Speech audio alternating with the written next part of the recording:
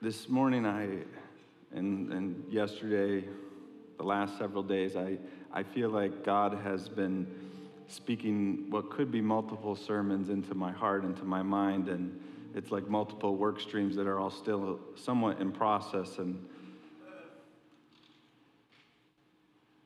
it almost feels like there's a, a download that's still syncing. Uh, not that I'm feeling swamped by it, but excited for what God is, is doing inside of me and, and doing inside of this body. And it's so multifaceted. And, and but even with all that,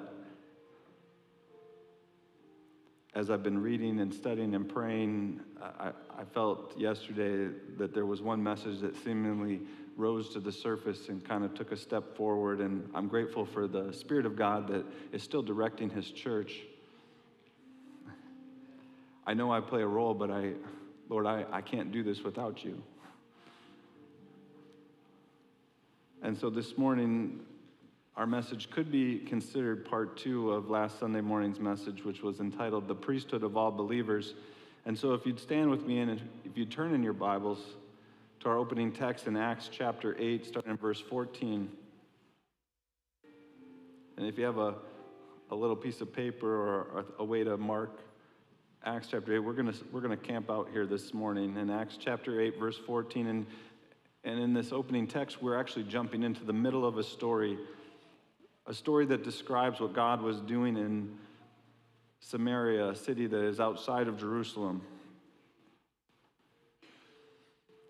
In Acts chapter 8, verse 14, it says, Now when the apostles which were at Jerusalem heard that Samaria had received the word of God, they sent unto them Peter and John.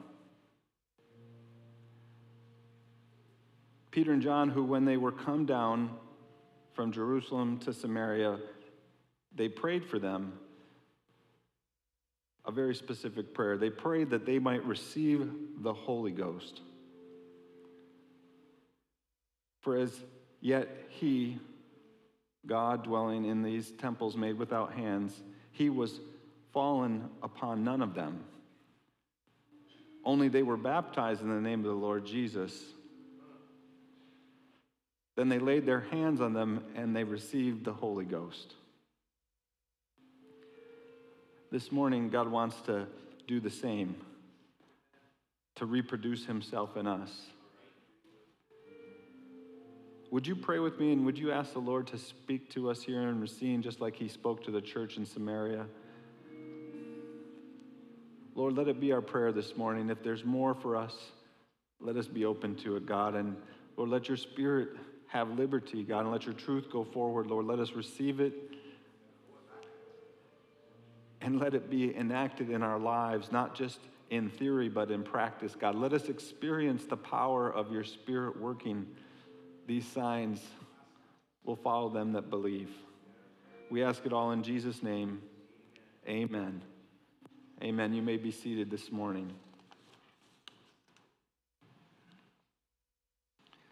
Peter and John, they, they had traveled some 70 miles from Jerusalem to Samaria with a very specific purpose. They, they came to pray for some newly baptized believers, believers that, who had not yet received the Holy Ghost. These believers were baptized in water, but the Spirit of God had not yet fallen on them, according to the scriptures.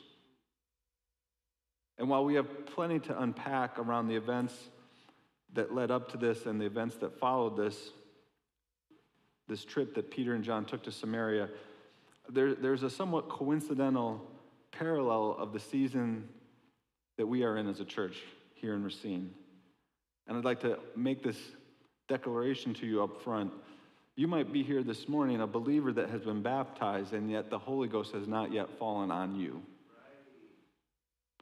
When Peter and John preached to these believers about the infilling of the Holy Ghost, like I'm going to share with you this morning, those who believed received. If they believed the word of God, they were filled, like the scriptures say. And this morning, make no mistake, God wants to fill every individual, every believer with his spirit, to have his name called over them in the waters of baptism. is not an exclusive club for just a few. These signs shall follow them that believe, the priesthood of all believers. We've all been called into this service in the kingdom of God, a holy priesthood, to offer up spiritual sacrifices that are acceptable to God by Jesus Christ.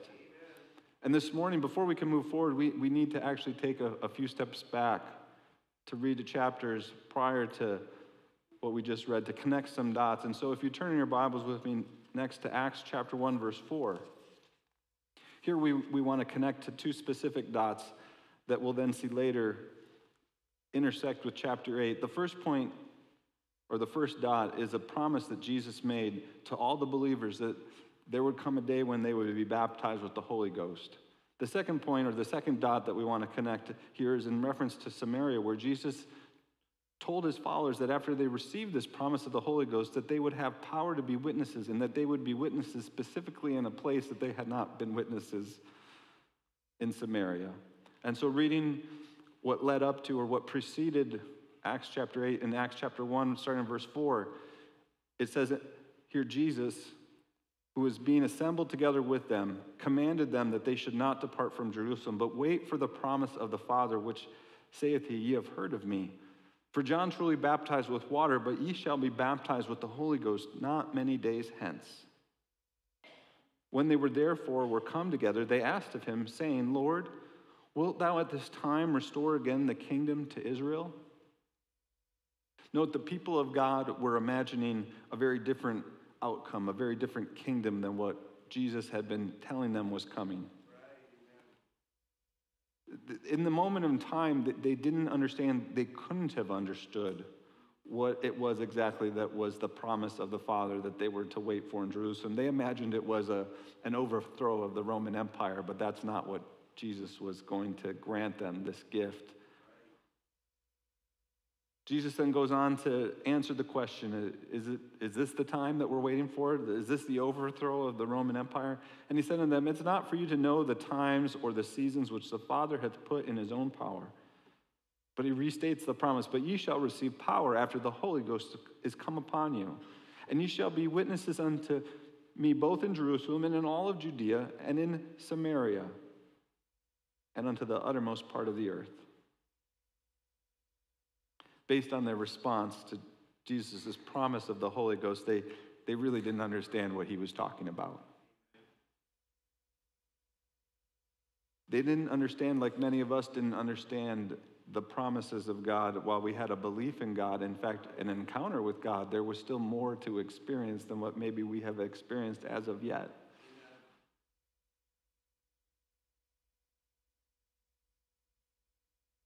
And I remember for myself, um, growing up in a church, growing up uh, believing in God, believing in the Bible, somehow these scriptures that we point to so frequently, um, they, they never spoke to me about this promise, or, or it was never pointed out to me. I was never taught that there was more to experience in God.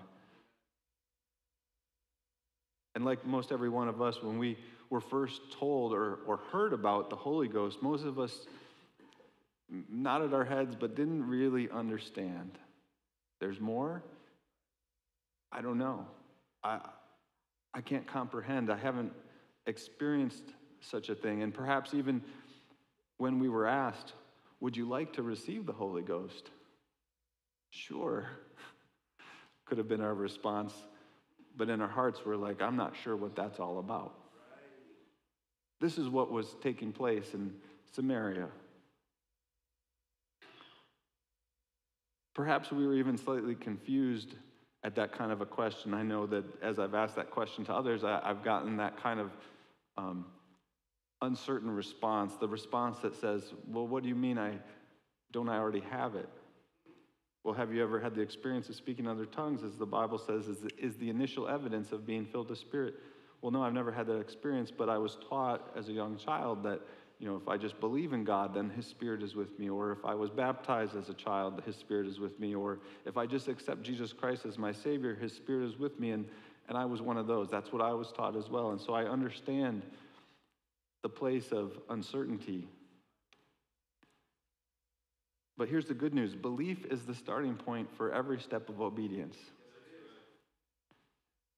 If you, if you didn't believe, you wouldn't likely be here this morning. And so I'm going to take the, the fact that you do believe, that there is a trust and an understanding that God is real and that there are promises for you in His Word, and that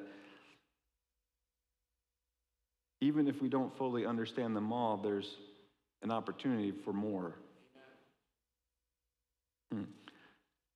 I remember that night when God filled me, that Sunday when God filled me with His Spirit. I, I can tell you with confidence that I didn't understand anything about any of it at all. But that didn't somehow stop God from filling me with His Spirit. It was some 28 years ago on September 1st. And at that time, I didn't understand what it meant to be baptized. I, I knew what it meant to go down in the water, but I didn't know that you could also be baptized with the Holy Ghost. But that didn't stop God from pouring out His Spirit into this vessel. And I, I had heard a little bit about speaking in tongues, and I had certainly by this time, just being around all of you, heard some of you pray in a language that didn't make any sense to me, but I didn't understand what it was. And I certainly didn't understand that, that God had a desire for me to have that same experience, but my lack of understanding didn't stop any of it from happening.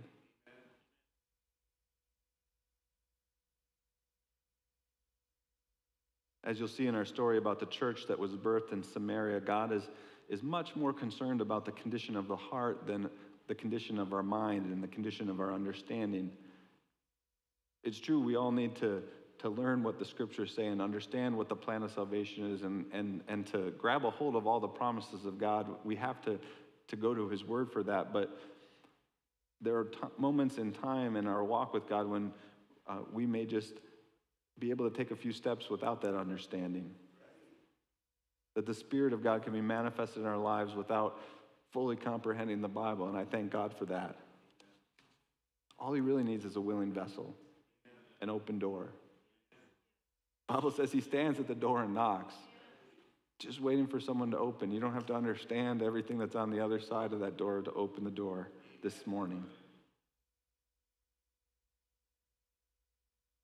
If we could take just a few more moments to connect dots to the message from last Sunday morning. Last Sunday morning, we finished that message entitled The Priesthood of All Believers, speaking about what happened on the day of Pentecost, how that first message that Peter preached when he told all the people that had gathered around that they were to repent, to be baptized in the name of Jesus Christ for the mission of sins, and that they would receive the promise of the Holy Ghost. And if you were here, we, we talked about the logistics of what would have had to have taken place for 3,000 people to be added to the church in one day, to be baptized in the name of Jesus Christ.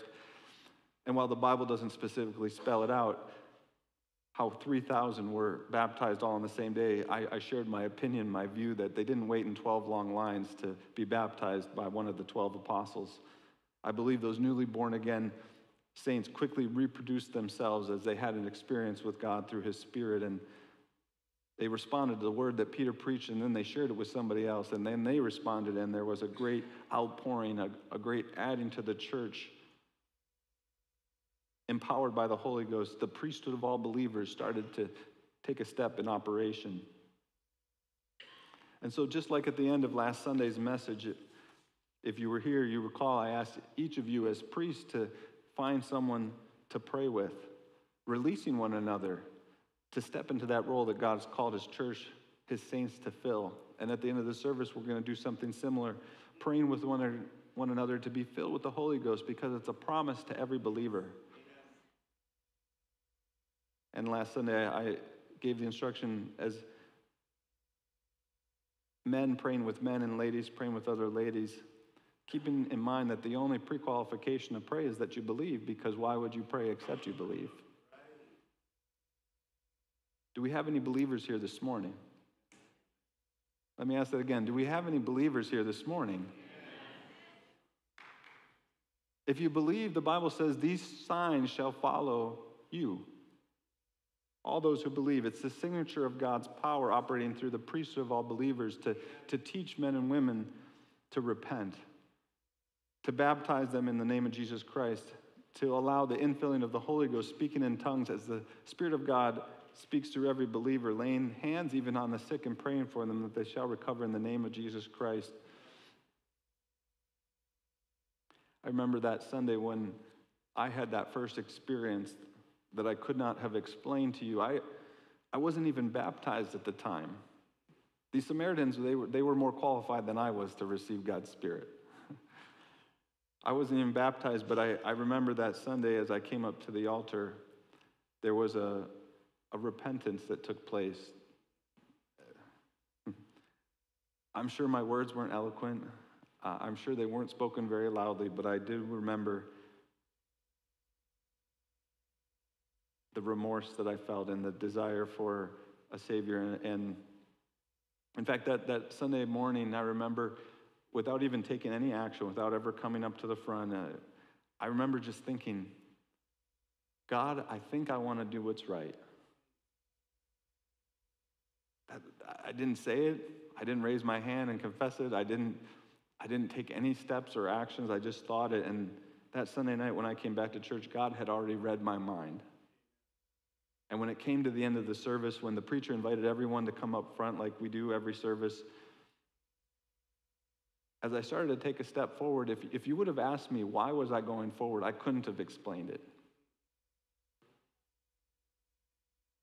All I could have possibly told you was, I just feel like I need to go up front. I don't know why. I don't have a specific agenda in mind. I don't have even an intent. I didn't, I didn't leave my spot in the back pew to walk forward to even repent, but when I got to the front, there was something that started to happen that I now know as repentance. I, didn't, I didn't come with that intent. I certainly didn't come that Sunday with a plan in mind. Let me tell you at the end of the service, if you feel that same tug, let me tell you that's God that's tugging on your heart. Don't allow logic to circumvent what God is trying to do you don't even need to know what to expect in order to respond to that tugging. You don't have to know what the Bible says to take steps forward in response to the Word of God. Just trust that it's God who is prompting you. And maybe, maybe you'll pray that simple prayer God, if there's, there's more for me, then I want to experience it. You know what? We could, we could all pray that prayer right now. Let's do that right now. God, if there's more for me, I want to experience it. God loves those kind of prayers. God, if there's more for me to understand, I want to I want to understand it. Will you show it to me in your word? God, if there's more evidence for me, I want to have that evidence, that confidence. God wants you to have that confidence. Not wonder, am I saved? Have I had a real experience with him? Turning back to Acts chapter 8, we start in verse 1 to connect more dots now. In Acts chapter 8, verse 1, it says, And Saul was consenting unto his death. This is speaking of the death of Stephen, the first martyr of that New Testament church that was birthed in an upper room. And at that time, there was great persecution against the church, was, which was at Jerusalem. And they were all scattered abroad throughout the regions of Judea and Samaria, except the apostles. Everyone scattered except the apostles, and devout men carried Stephen to his burial and made great lamentation over him. As for Saul, he, he made havoc of the church, entering into every house and hauling men and women, committed them to prison. Therefore, they were scattered abroad and went everywhere, preaching the word. Then Philip went down to the city of Samaria and preached Christ unto them. Saul was so committed to stamp out the fire of Pentecost that was in Jerusalem, but the more he tried to snuff it out, the more it just spread. The more the name of Jesus and the power of his spirit was experienced in a wider audience because of that persecution. You know, even when it feels like everything is going wrong, it may actually be going right. The church felt like, how could this be, Lord? we've just been born again. We've just been born of the water, born of the Spirit. We've had this incredible experience. Signs and wonders are following us.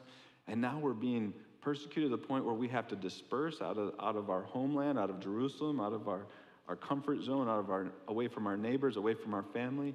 Yes, even when everything seems like it's wrong, it may actually be right because now the Word of God is going to be expanded past just Jerusalem, past just the Jews.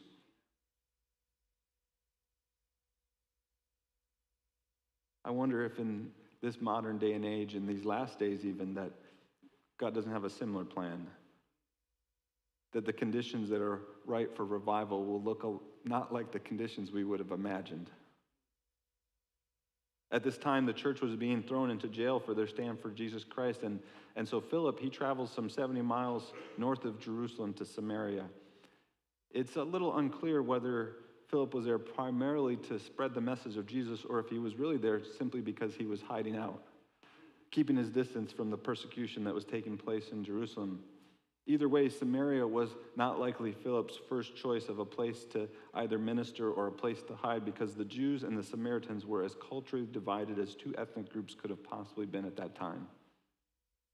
To understand this cultural divide, we have to understand a little bit about the history of the Samaritans. The Samaritans themselves were descendants of the nation of Israel. But when the rest of the Israelites were exiled, the group that was left behind intermarried with non Jews.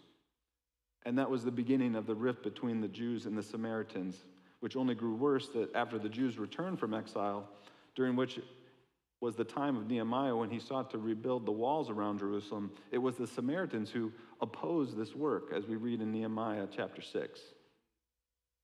Another reason that the Jews despised Samaritans was that they had built their own temple on Mount Gerizim, and they had claimed it as the right place to worship instead of the temple that was in Jerusalem another offense between two culturally divided groups. Samaria and its inhabitants were looked down upon by the Jews, in part because Samaria had become a place of refuge for all Judean outlaws.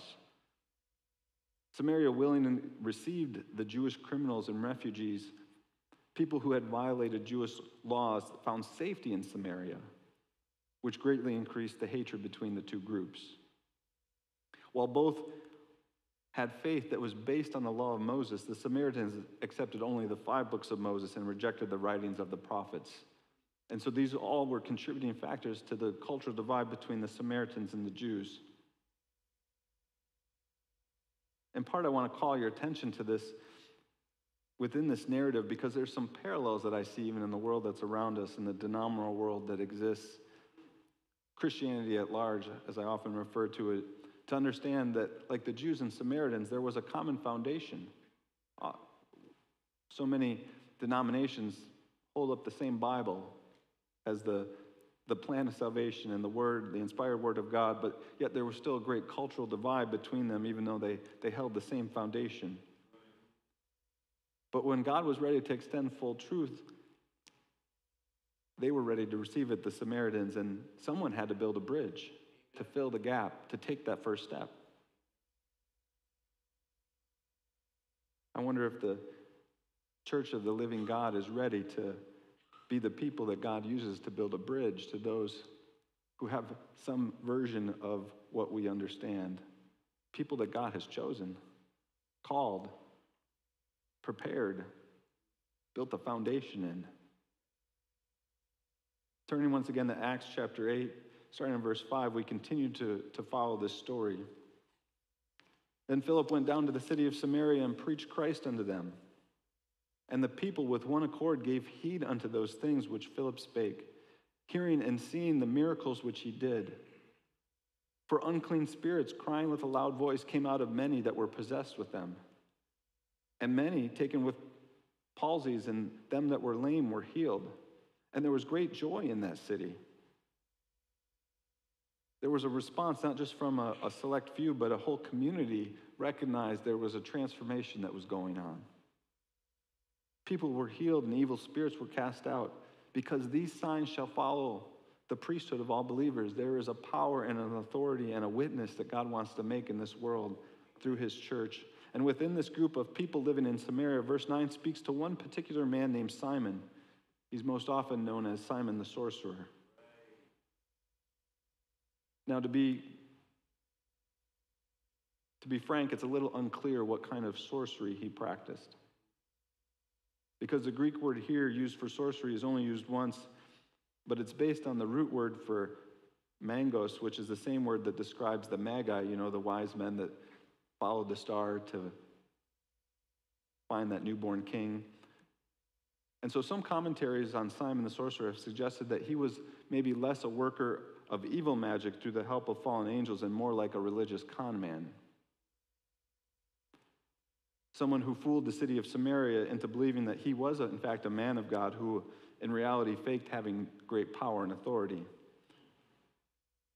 So, reading for ourselves, if you turn to Acts chapter 8, verse 9, here's the account that says, But there was a certain man called Simon, which before time in the same city used sorcery or, or deception, and bewitched the people of Samaria, giving out that of himself, that he himself was some great one. There, there's a red flag right there. Anyone who proclaims themselves great, that's, that's reason to, to give caution to their words.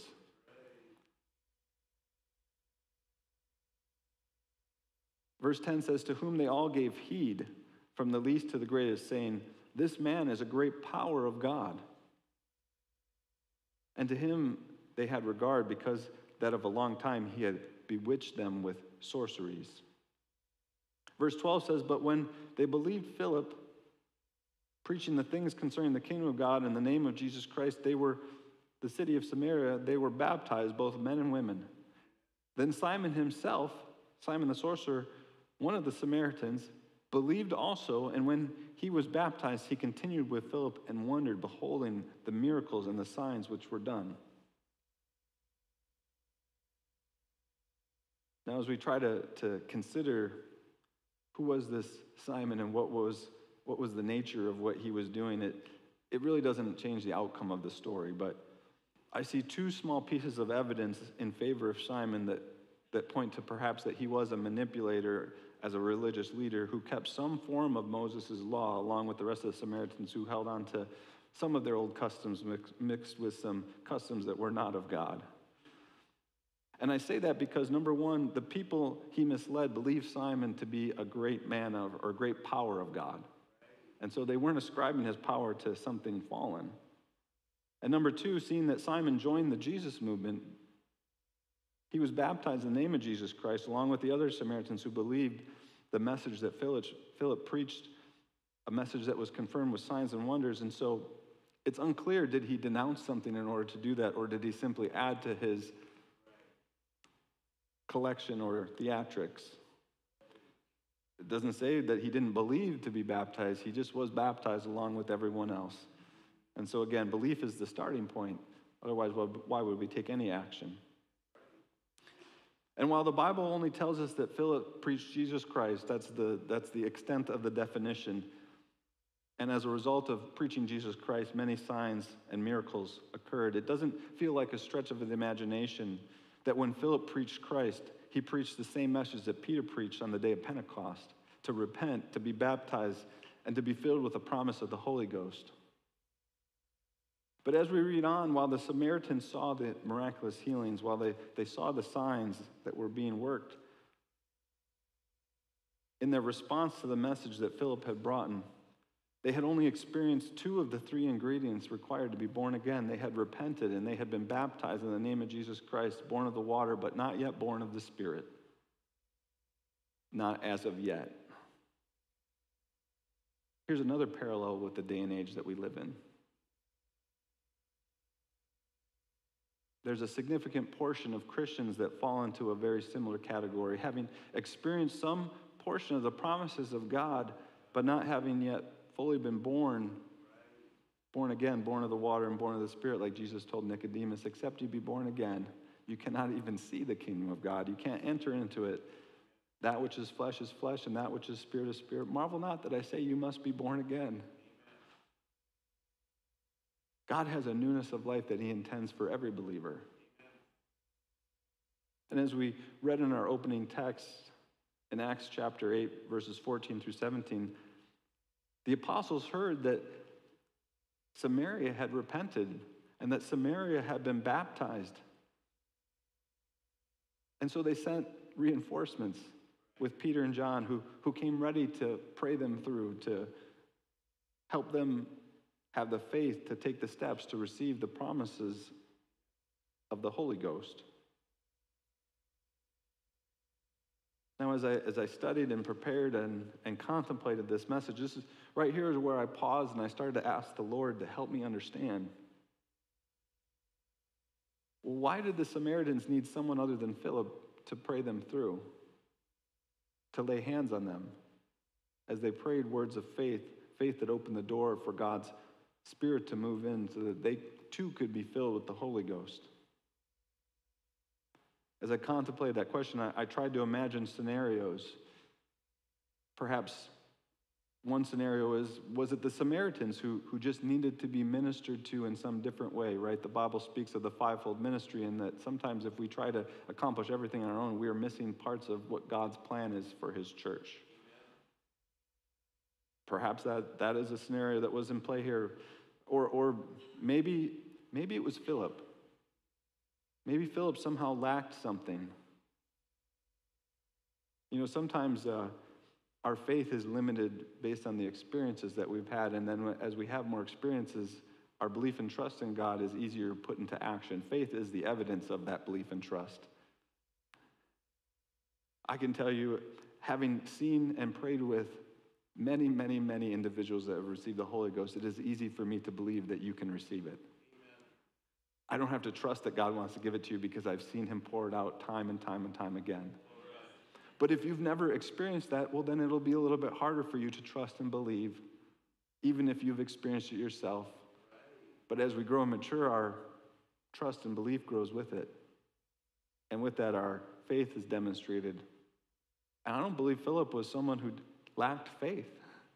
There's no evidence that suggests that. In fact, later, this is Philip the deacon the one that was one of the seven, along with Steph, Stephen, that was appointed to look over the church business. And, and when the persecution came, he departed for Samaria, and later he's referred to as Philip the evangelist.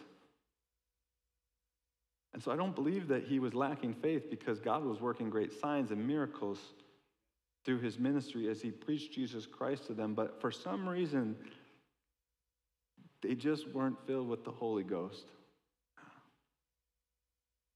So, was it that Samaria needed to be ministered somehow differently by the fivefold ministry? Was it because Philip was lacking something? Perhaps, likely not. Or, or was it the apostles who had doubts about the Samaritans? Doubts that their potential, or doubts about their potential to be converted. Again, I'm just imagining these scenarios. I'm not telling you this is the fact, but perhaps God withheld part of the new birth experience causing Peter and John to, to come in person to see the outpouring to confirm the works and the signs that followed. Now, we can have a lot of questions. God doesn't always answer to every question that we might have, but as I was praying and I asked God for insight, I can't say that the Lord gave me any specific direct answer. But if I had to pick one of those scenarios, that latter one seems to have some merit. I don't believe Philip was lacking anything. The Bible says that those deacons were chosen because they were of an honest report and full of the Holy Ghost and wisdom. And so it wasn't because he hadn't experienced the Holy Ghost for himself.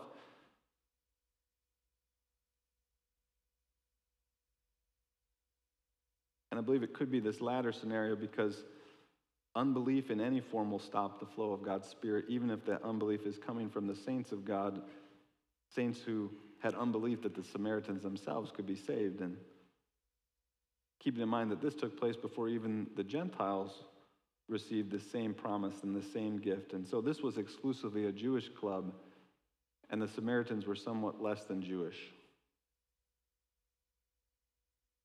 It wasn't until Acts chapter 10 when the Jews were still questioning Peter when he tried to explain how the Holy Ghost was poured out on the house of Cornelius as the first non Jew Gentile was having that same experience of speaking in tongues, just like the Jews had when the Holy Ghost was poured out like them, and just like the Samaritans had when the Holy Ghost was poured out on them.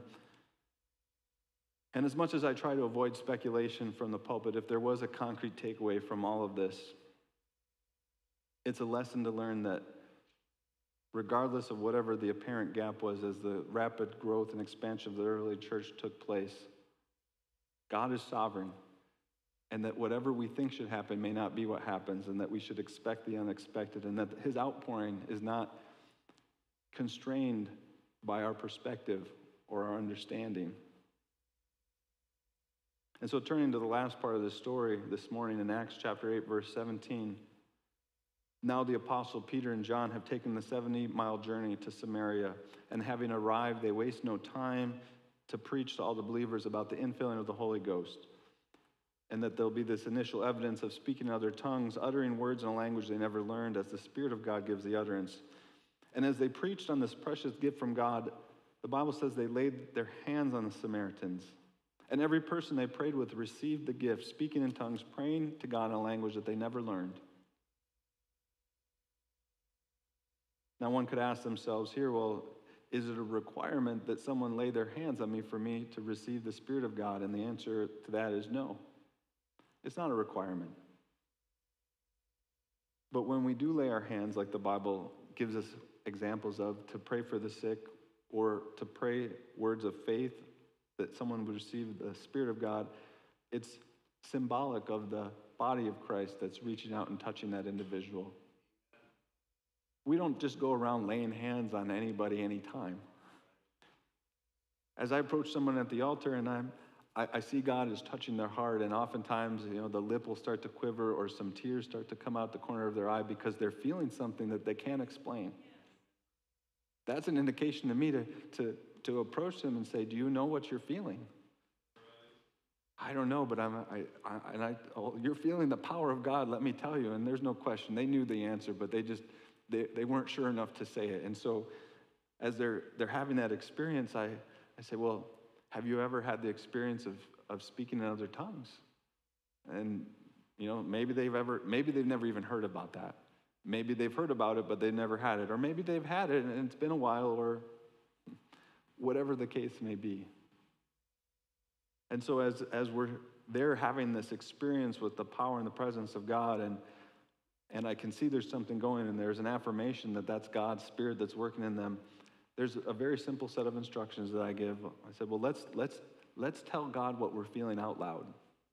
You see, you can never be filled with the Spirit of God with the evidence of speaking in other tongues if you don't speak it out loud. And generally, we start speaking words of repentance, words that express our sorrow for the things that we know we've done that are wrong and, and words that express our need of a Savior, and, and even words that start to speak to our plan not to, to continue to follow that life that we once lived, even though we don't know exactly how it is, we're not going to live it.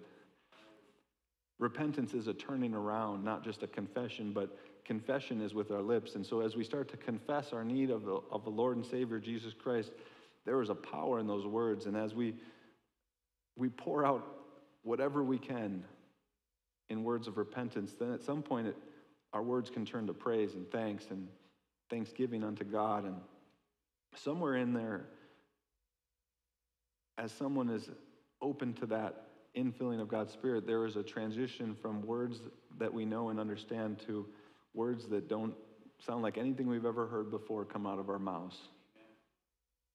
Can I tell you the thing that gets in the way most often is our own pride, our own self conscious Lord, I'm feeling something very powerful right now, and I, I am willing to confess with my lips my need of a Savior, to repent, to worship you out loud with words spoken, not just thoughts in our mind. But then as God starts to move on that individual, there is a, a trust that has to take place where I'm, gonna, I'm willing to take a step past what I know and what's comfortable into something that I don't know that is very uncomfortable at this moment and trust that it's God who's been leading me and, and allow the sound to come out. See, God doesn't move our mouth like a puppet. He doesn't force us to speak it. But if we'll take that step, like Peter took a step out of the boat when Jesus said, Come, walk on water, he didn't know how it was going to happen, but he took a step anyways. And as long as he kept his eyes on Jesus, the steps continued to lead in the right direction. God isn't going to leave you hanging if you'll take a step.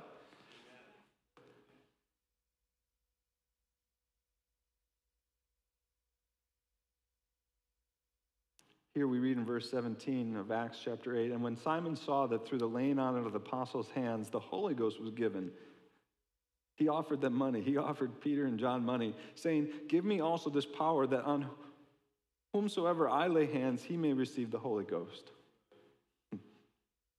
And here within the story, there's another story about what does it truly mean to receive the Holy Ghost, like Jesus promised that he would baptize them with the Holy Ghost not many days hence. And if you grow, if you didn't grow up in a Pentecostal church or an apostolic atmosphere, it's very likely you were taught like I was taught that the, the dwelling of God's Spirit comes when a person just accepts or believes or is baptized as a child or whatever it was that we were taught, and that there isn't necessarily a specific sign or, or a milestone that we can point to and say, that was the day when I was born again. But if what we were taught, many of us as a child, is true, then this whole portion of Scripture must be a big lie or a story. Because if it was true that just simply belief was all that was required to be filled with His Spirit, then the Samaritans didn't need Peter and John to come and pray for them because they already believed. If being baptized was enough to be filled with His Spirit, they were already baptized. There was no need to take an additional step. And when Peter and John did come as firsthand witnesses of God's plan to expand the church into the disenfranchised Samaritans, whatever happened caused Simon to ask to buy that kind of power. He had already witnessed miracles, he had already witnessed signs through Philip, but something different had happened, and now he says, No, no, that's what I want.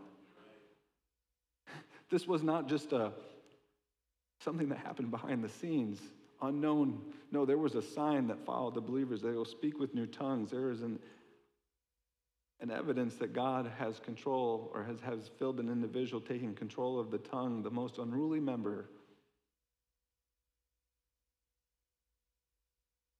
What was so profound that when people received the Holy Ghost, the answer is they spoke in a language they never learned. They were filled with a power that they could feel but they couldn't see. And there was a sudden change in every person that received it. Instantly, there's a new nature that's engrafted into our nature.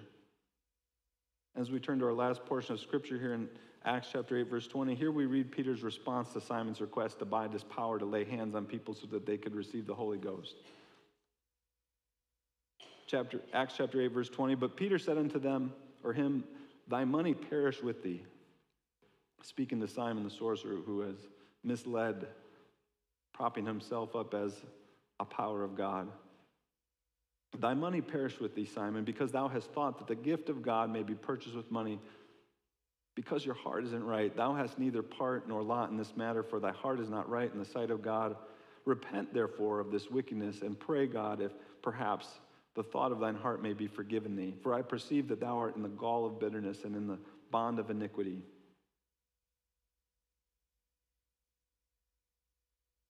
Being filled with the Holy Spirit doesn't happen without some sign that follows after it. And when Simon saw the phenomena of people being filled with the Holy Ghost, the spiritual conman thought to himself, Oh, that's, that's what I need. I need to keep my status as a power of God. I need to have the authority like Peter and John had that Philip didn't have.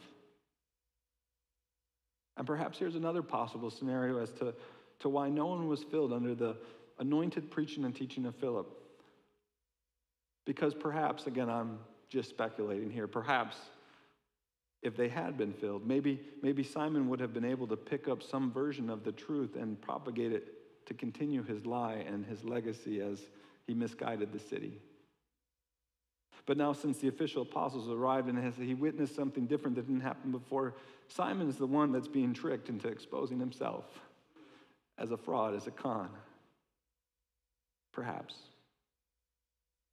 This morning, as the musicians come and we read the very last scripture that completes the story in Acts chapter 8, verse 24.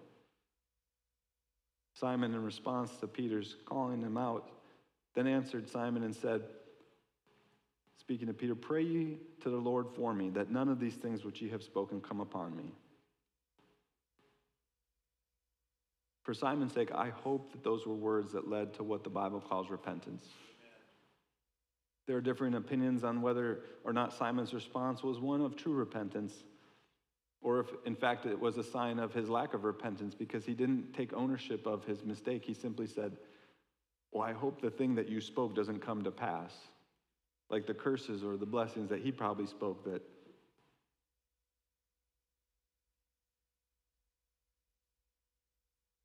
And while Simon may or may not have repented this morning, every one of us has an opportunity to repent. We're in a place and a time where God's door is wide open and that where the promises are for every believer to repent, to be born again, to be baptized in the name of Jesus for the remission of our sins, going under the water and coming up, having a weight removed from our shoulders that was always there, that we've been carrying around, that no longer He remembers our past, that we have a fresh start. And like the people in Samaria, having been baptized, having believed, having repented, there was still another step that they had not yet experienced, like so many of us had not experienced, even though we believed in God, we believed the Word of God, and had ex- even had the promises of God to come fruition in our life, there was still more.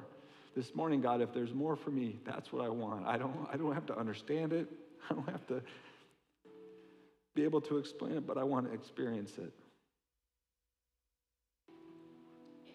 To be filled with your Spirit. These signs shall follow them that believe. They shall speak with new tongues, a language that was never learned, a heavenly language or a language of man. Only God knows. And when we have this language, this it becomes a, a, direct line of communication with God as His Spirit speaks through us, for us, interceding on our behalf for His perfect will to come to pass. If you've never been baptized or if you've never had that experience of speaking another language as the Spirit of God gives the utterance, the only prerequisite for either one is to repent.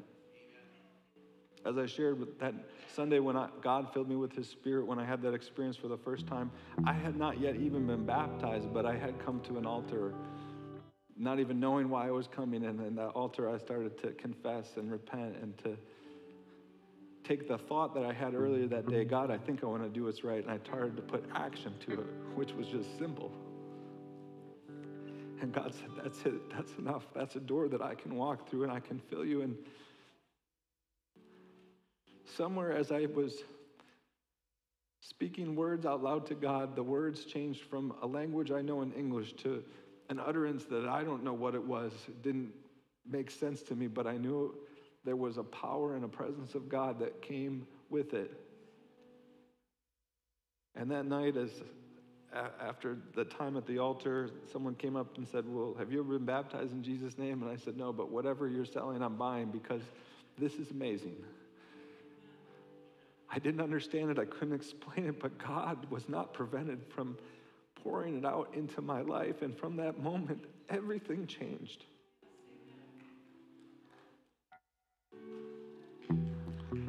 This morning, would you stand with me? You've come to this place because you have a belief. This is a body of believers, and we all have different stories of where we've come from and where what God has done and what we understand. And, and maybe some of us, like I did that day, understand very, very little, and that's okay. This morning, like that Sunday when the minister opened up the altar, a 21 year old young man named Mike felt something inside say, You should go up front. Why am I going up front? I don't know, but I just, I feel like I need to go up front. This morning, if you're feeling that tug, that's God that's tugging, that's God that's directing you. And if He's directing you, there's something more for you. Every step you take is a step into the promises and the power of God. This morning, if you've never been baptized in the name of Jesus Christ, the water behind me is warm. The baptism, we have robes for you to wear so you can go home with dry clothes and towels for you to dry off with afterwards. There is nothing that's preventing you except that you have repented. And if you've been baptized, if you've repented, and you have not had the experience of speaking a language you never learned, this morning God wants to fill you to confirm the work with signs following. And so as we open up this altar this morning, I'm inviting everyone to come because we all need to repent. We all need to be filled again and again and again. And if you have not had that experience, would you would you come? Could we pray with one another, men praying with men and women praying with women, that we would all be